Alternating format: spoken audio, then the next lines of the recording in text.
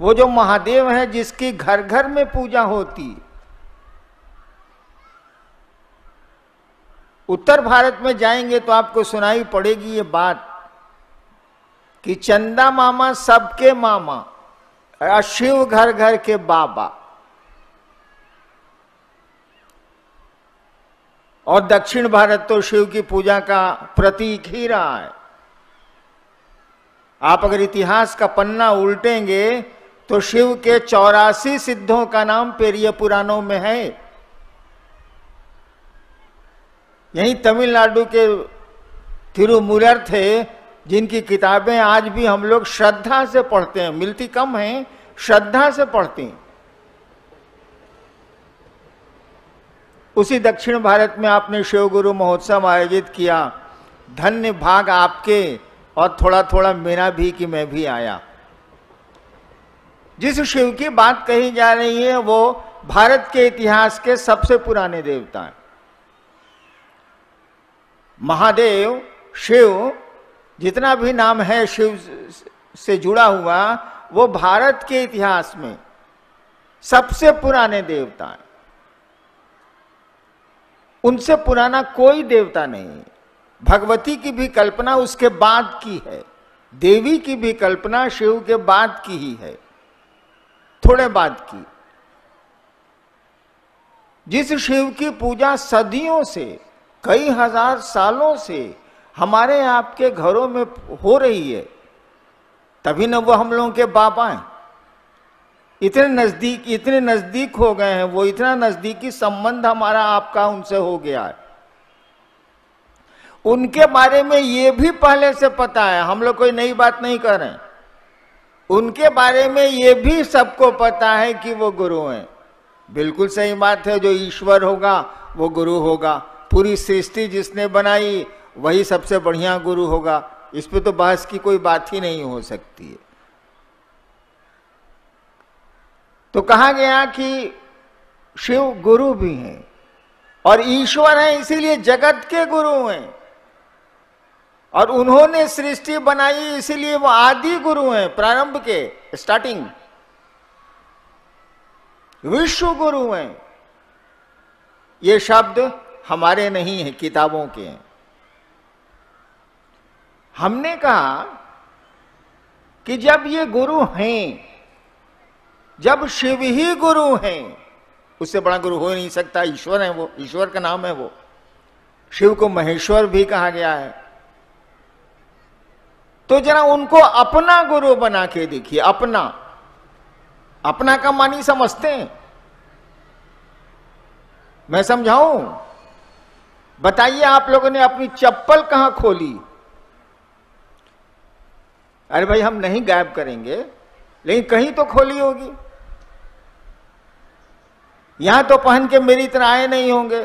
कहे कि मैं विद्यार्थी भी था और पटने में गांधी मैदान में भाषण सुनने जाता था तो अपनी चप्पल ही खोल के उसी पर बैठ जाता था कि चोराब हम बैठिए अगर तो चोरेब कैसे? अचिनिया बादाम खाता रहता था भाषण सुनता रहता था, जब पढ़ता था तब। और ये करीब करीब यहाँ 600 लोग हैं।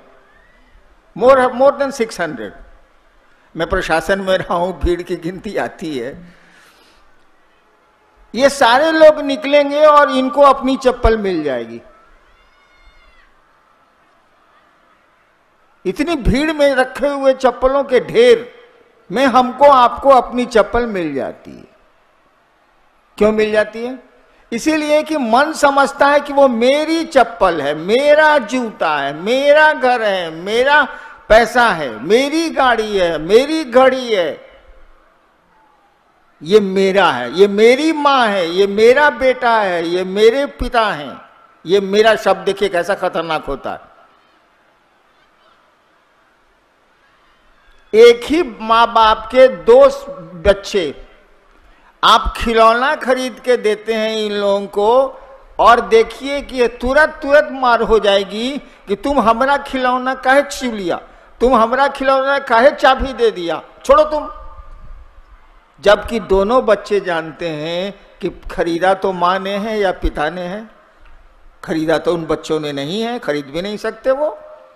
ये है मैं, मेरा। हमने कहा कि उस महादेव से अपना रिश्ता बनाओ, अपना ओन। वैसे इस बात को जान लीजिए। जो चीज़ सबकी होती है, वह किसी की अपनी नहीं होती। जो सार्वजनिक सत्ता या संपत्ति है, वो कोई उसको अपना नहीं समझता। ट्रेन को अपना समझते हैं, बस को अपना समझते हैं, प्लेटफॉर्म को अपना समझते हैं, नहीं समझते और इसीलिए सरकार को नियम बनाने पड़ती गंदा मत करिए, ये मत करिए, वो मत करिए। आपको अपने घर में कोई नियम नहीं बनाना है, वो अपने आप कर लीजिएगा। जो सबका होता है, वो किसी का अपना जल्दी नहीं होता, अमूमन नहीं होता। एक कहानी सुना है सुनिएगा। बड़ी अच्छी कहानी है, सुनने लायक। हरियाणा में एक जिला है अंबाला। हरियाणा राज्य में एक जिला है अंबाला। वहाँ मिलिट्री का कैंट भी है, अंबाला कैंट भी जगह है। बहुत साल पहले, जब अंग्रेज़ थे यहाँ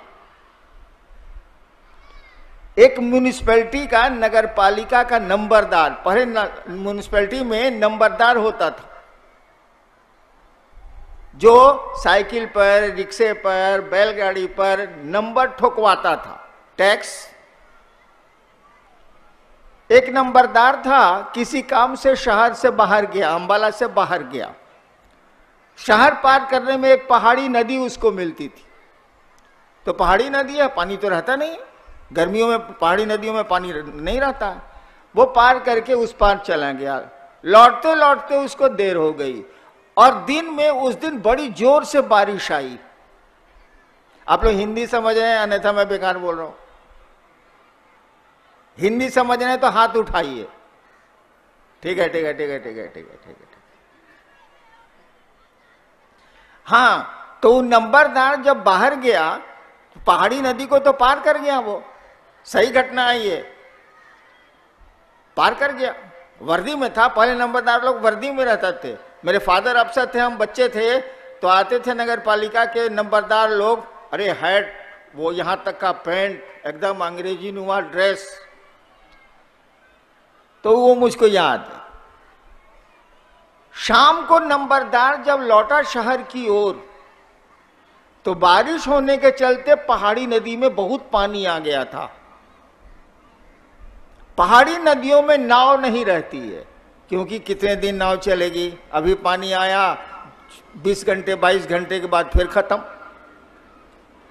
अब हो गई थी शाम, होने वाली थी रात, और उस समय की आबादी इस तरह की तो थी नहीं। दूर दूर तक कोई मकान नहीं, जंगल, जंगलात, आदमी नहीं। अब वो नदी के किनारे खड़ा है और सोच रहा है कि मैं शहर में जाऊँ कैसे? अब तो लौटूँगा भी तो छह सात मील दूर हमको जाना होगा, तब बस्ती मिलेगी। वो चुपचाप खड़ा था। वो चुपचाप खड़ा था। इतने में एक साधु वहाँ खड़ा था पहले से। साधु ने उस नंबरदार से पूछा, क्या बात है? साधु ने उस नगर पालिका के नंबरदार से पूछा, क्या बात है? नंबरदार बोला, जो हुआ था कि नदी हम कैसे पार करें? रात हो रही है, यहाँ तो रहने की भी कोई जगह नहीं है, हम क्या करें? हमको शहर जाना है। साधु ने कहा, दोनों हाथ ऐसे करो। अंजलि बनाओ, दोनों हाथ ऐसे करो। नंबरदार ने ऐसे कर दिए दोनों हाथ। साधु को अच्छा लगा कि इस साल वर्दी वाला मेरे कहने से हाथ ऊपर कर लिया, खुश हो गया वो। साधु ने कहा कि दोनों हाथ ऐसे करो। नंबरदार ने क्या करता वो फंस गया था। दोनों हाथ उसने ऐसे किए। साधु आया। बालू और, और पानी तो बारिश हुई थी। भींगे बालू से एक हाथ पर शी लिख दिया तालाब शहर शिकार। शी और दूसरे तरथी पर वह लिख दिया और कहा जोड़ो पढ़ो क्या लिखा है? नंबरदार ने पढ़ा शिव? शी लिखा था इस पर वह लिखा था। जोड़ दिया तो नंबरदार ने पढ़ा, शिव, साधु ने कहा, इसको देखते हुए नदी पार कर जाओ। नंबरदार ने एक पाँव नदी में डाले, पाँव धसा ही नहीं पानी में। चलता गया चलता गया, नदी का पाट लंबा था।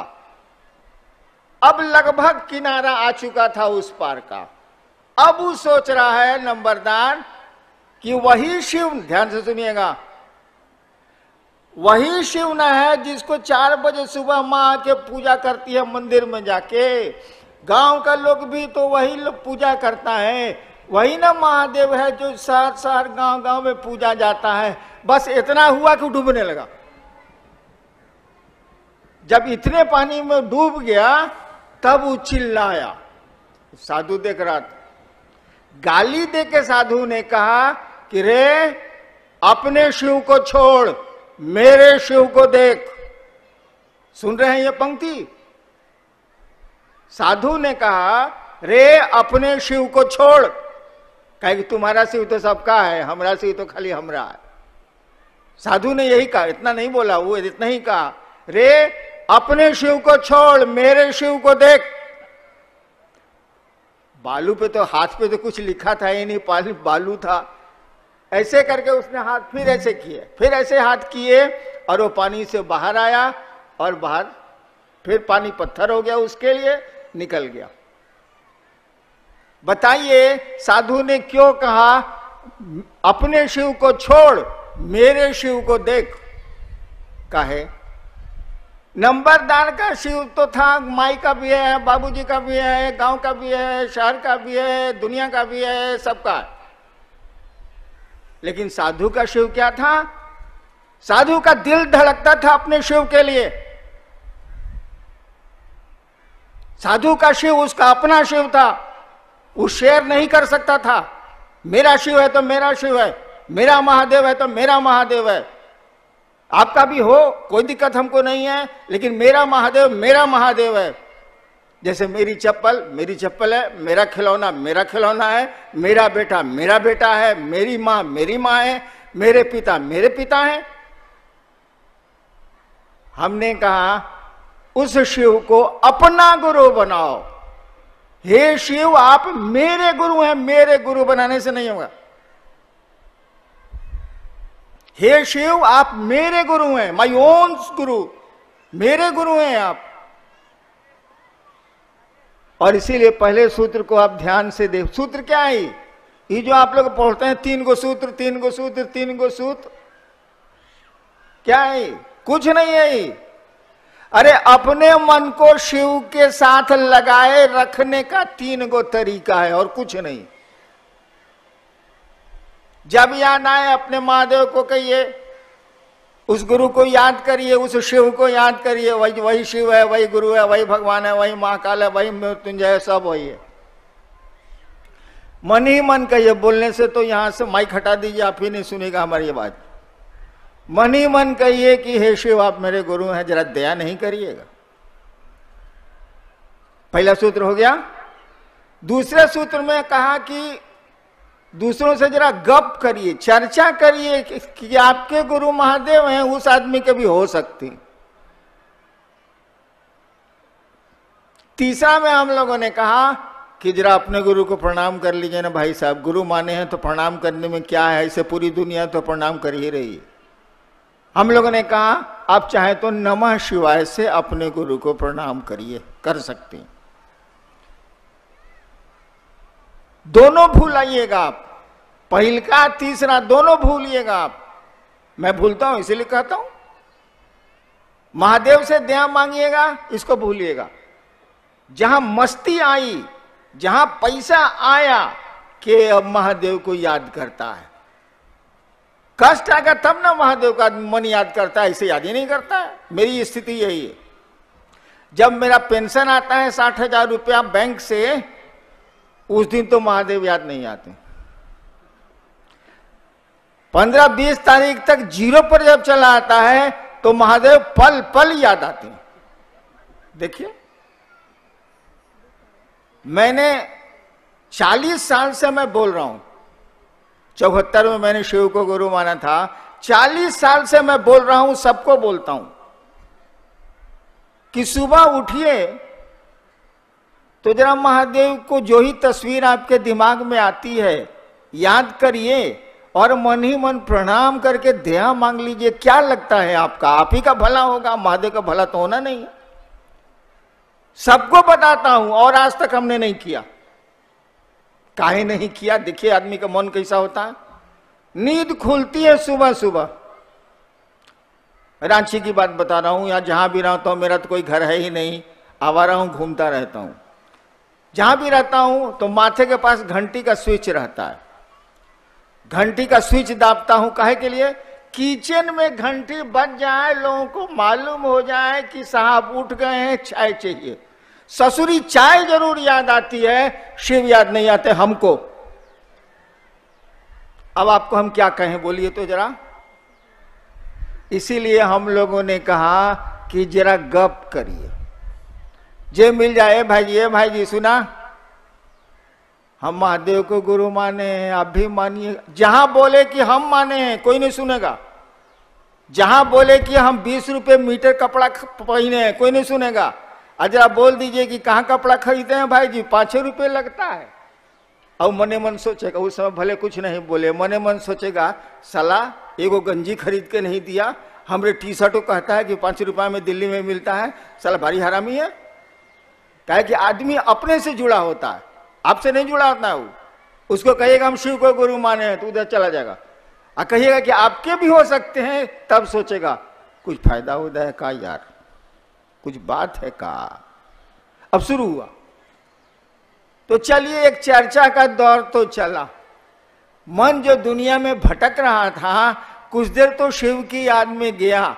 और जिसकी याद बार बार आती रहे, याद रखिएगा जिसकी याद बार बार आती रहे, उससे मुहब्बत होती है। अगर आप यूँ ही मुझसे मिलते रहे, देखिए एक दिन प्यार गनो नहीं सुनता अरे गाना भी तो बोला करो यार। देखिए एक दिन प्यार हो जाएगा। तो तीन सूत्र कुछ नहीं है। हमारे आपको मन को मन को शिव की याद में ले जाना है, अपने गुरु की याद में ले जाना है और कुछ नहीं है। हमको कोई सिखाया थोड़ी है? हमको कोई बताया थोड़ी है? हमको तो किसी ने नहीं बताया कि शिव गुरु होते हैं। शिव को गुरु मानने के आठ साल के बाद हम जाने हैं कि शिव गुरु होते हैं। हम कैसे शिव को गुरु माने बताएँ? बहुत हम लफाड़ी आदमी थे। पढ़ाई लिखाई से मतलब में नहीं था। गलती से आईपीएस में आए, डिप्टी कलेक्टर हो गए, वो सब गलती से हुआ है। हम गलती से सीओसी से हुए हैं, यो जान लीजिए। एक बार शमशान में बैठे थे हम, चौ 1974 नवंबर। आज हम अजिया गए थे हम, मैं बहुत दुखी हो गया था। तरह तरह की साधना तरह तरह के धंधे तरह तरह के अघोरी तरह तरह के साधु, बाप अफसर था, मेरी पूछ तो थी ही। पैसे वाला था, अरे बाप, उस समय क्लास वन अफसर था तो पैसा तो था ही बाप के पास। स्मशान में बैठे बैठे हमने सोचा ध्यान से सुनिएगा भाई जी, शिव से सीता में कुछ करने को नहीं है। केवल एक सोच है, एक विचार है, एक थॉट है। इट इज़ मेरे थॉट मैंने सोचा कि बड़ी गुरु बना लिया, कहीं कुछ मिलता होता नहीं है बात। चलो आप भगवाने को गुरु बनाते हैं। सोच रहे हैं शमशान में तो कबड्डी खेलने के लिए पार्टी रहती नहीं, अकेले रहना है। मैं सोच रहा हूँ कि चलो अब भगवाने को गुरु बना लेते हैं। अब किसी को नहीं बनाए। हमने सुना था अपने पिताजी से कि भगवान शिव को कहते हैं। ये सुना था, हमको कोई मतलब उतलब इसे नहीं था। जैसे मेरे मन में रात के दो बजे अंधेरे में ये ख्याल आया कि भगवान को आप गुरु मानेंगे, ये भी ख्याल साथ में आया कि शिव भगवान है। हमने शिव को गुरु मान लिया। एक मेरी आदत। मैं अगर मान लूँगा किसी चीज़ को ना तो पूरी दुनिया एक और मैं अकेले लड़ूँगा उससे, भले मारा जाऊँ। जब मैंने सोच लिया कि शिव मेरे गुरु हैं, अब से हम शिव को गुरु मानेंगे। लाख तूफ़ान आए, लाख झंझावात आए क्या क्या मेरे साथ नहीं हुआ? मैं खड़ा रहा कि मैंने शिव को गुरु माना है, मेरे गुरु शिव हैं। और आपको बताएँ। आप करके देखिएगा कभी। वो शिव है। वो महादेव गुरु है, सब कुछ है वो। हम आप जुड़ते नहीं है। जुड़ने की हमारी आपकी आदत नहीं है मनसा नहीं है। कुछ नहीं है उसे जुड़ने में। महादेव कहता है कि तुम मुझको देवता समझते हो। मैं तुमको मित्र समझता हूँ। इसीलिए कहा गया है, शिव के गण होते हैं। गण मने आदमी। संस्कृत में गण शब्द का अर्थ होता है आदमी।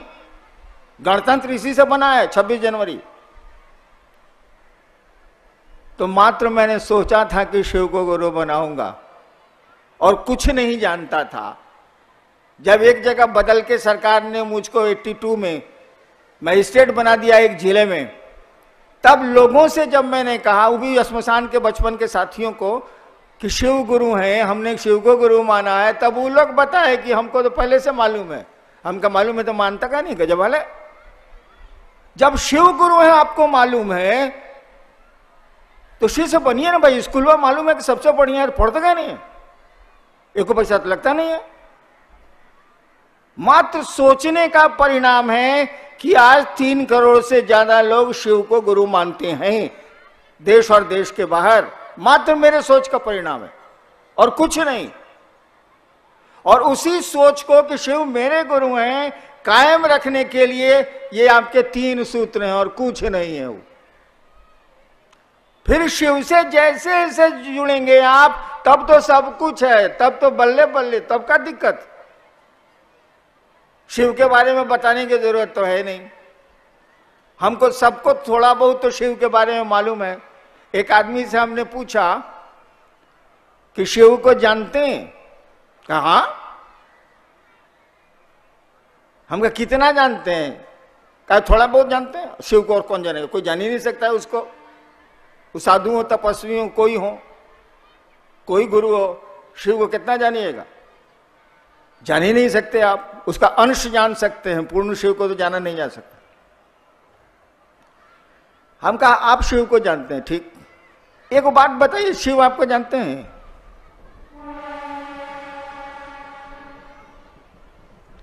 हम उससे पूछा, शिव को आप जानते हैं, ठीक? शिव आपको जानते हैं? अरे वो तो पूरी दुनिया के मालिक हैं तो जानने को तो जानते ही हैं। लेकिन व्यक्तिगत रूप से शिव आपको जानते हैं। एक आदमी ने हमको कहा कि हाँ शिव हमको जानते हैं। वो मेरी पोती है, जो पतली है। अभी इधर इधर आए। इसी ने कहा कि हाँ शिव, हमको बाबा जानते हैं। और कोई नहीं बोला, कहीं हिम्मते नहीं किया कोई। हमने जब पूछा कि शिव को आप जानते हैं, कहा, शिव, आपको जानते हैं? चुप हो गए लोग। कलेजा नहीं हुआ।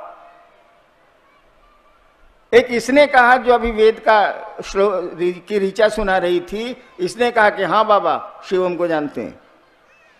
इतना भी साहस नहीं है कि हम आप कह पाए कि हम शिव को जो ही जानते हैं, सो जानते हैं। शिव हमको जानते हैं। इतना भी साहस नहीं है, इतना भी अपनापन नहीं है, इतनी दूरी है। एक आदमी से ऐसे ही हमने हाल में पूछा है, आपके परिवार में कितने लोग हैं? कहा, जी, चार आदमी। हम कौन कौन? हाँ मेरी पत्नी, दो बच्चे हम का शिव को गुरु माने कितना दिन हो गया? कहा पच्चीस साल हो गया, सर। हम कहा, शिव को कहते हैं कि शिव मेरे गुरु हैं। अब परिवार में कहते हैं कि चारे आदमी है। महादेव कहाँ चला गया रे? पाँच ना होगा? शिव मेरे, तुम हो, तुम्हारी बीबी है, दो बच्चे हैं। तो पाँच ना हुआ, चार कैसे हुआ? देखिए, शिव को अपना मानते हैं, अब फैमिली से उसको धकिया के बुढ़वा की तरफ़ बाहर कर दिए। वैसे भी शिव का नाम भी है बुढ़ऊ। बूढ़ा महादेव मंदिरों में भी बहुत मंदिर हैं जहाँ का नाम है बूढ़ा महादेव। शिव को गुरु मानिए, आजमाइए और उसको अपना गुरु बनाइए। जैसे आपका कंगन है, जैसे आपकी घड़ी है, जैसे आपका बेटा है, आपका घर है, आपकी चप्पल है। चलिए ना, बहुत चीज़ है। चप्पल, टूटला ही चप्पल। एक दो आदमी इसमें ज़रूर होंगे जो अब सोच रहे होंगे कि अब मार, जनवरी में तनख्वाह मिलेगी तो अब चप्पल खरीद लेंगे। बड़ी टूट गया साला मतलब बड़ी दिक्कत करता है। रोडवे से गोड़ में सट जाता है। वो अगर वो चप्पल पहन के आया होगा, और उसकी चप्पल कुकुर उठा ले गया। कुकुर मैंने पूछते हैं? संस्कृत में कुकुर मैंने कुत्ता। कुकुर, संस्कृत वर्ड है। कुकुर उठा ले गया, मान लीजिए, वो चप्पल देखो का कुत्ता उसको उठाइबे करेगा। अब उसका मन हो जाएगा घोर। देखिए चप्पल से क्या आकर्षण है। कहेगा, साला कहे लाए थे हम चेन्नई महोत्सव में? इस ससुरा कहे बुलाए था गगन देउआ फलना फलना? साला कहने बुलाया था? मेरा चप्पल गायब हो गया। आज जबकि पाँच दिन के बाद वो चप्पल खरीदने वाला है, उसको फेंक देगा। देखिए, ये आकर्षण है अपनी चीज़ों के प्रति इंसान को। आदमी को। अरे उतना भी आकर्षण शिव के प्रति पैदा कर लीजिए ना, आसमान फट जाएगा, धरती अपनी जगह पर नहीं रहेगी। करिए इस काम को। आप सबों को प्रणाम।